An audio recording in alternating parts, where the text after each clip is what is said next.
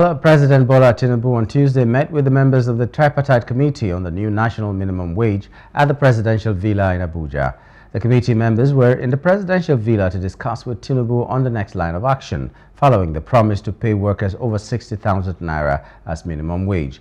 Those present include Minister of Finance and Coordinating Minister of the Economy, Wale Edun, the Minister of Budget and National Planning, Atiku Bagudu, and the Chief Executive Officer of the Nigerian National Petroleum Company Limited, CEO, NNPCL, Mele Kyari.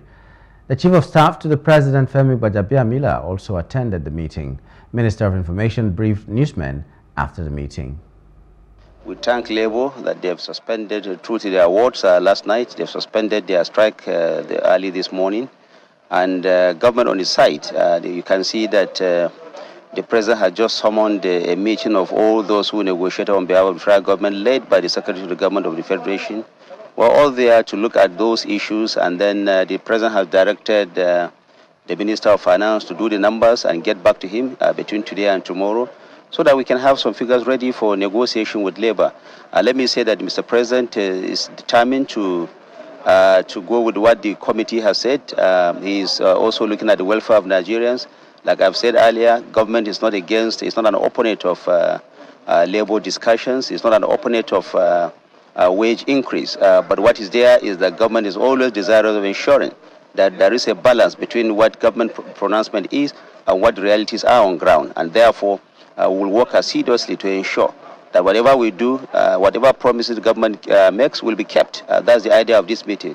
A wage award is not just that of the federal government. Like I mentioned earlier, the subnationals are involved, uh, the organized private sector is Labour that staged a, a step out during those proceedings. Now that we have come back to the negotiating table, all of us will work together again uh, assiduously within the next one week to ensure that we have a new uh, uh, you know, wage for Nigeria that is acceptable, that is sustainable, that is also realistic for all Nigerians.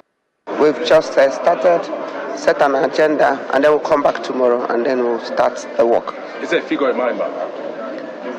You know, the truth of the matter is that uh, we will improve.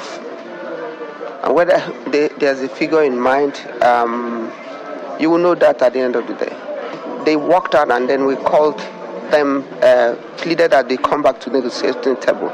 We were expecting that everything would come to an end and then we move forward because there are a lot of things to do. We've wasted too much time on this.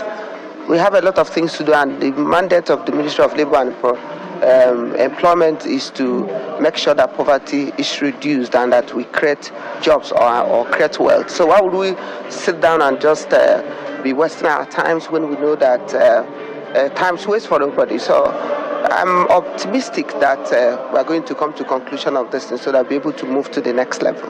Hello. Hope you enjoyed the news. Please do subscribe to our YouTube channel and don't forget to hit the notification button so you get notified about fresh news updates.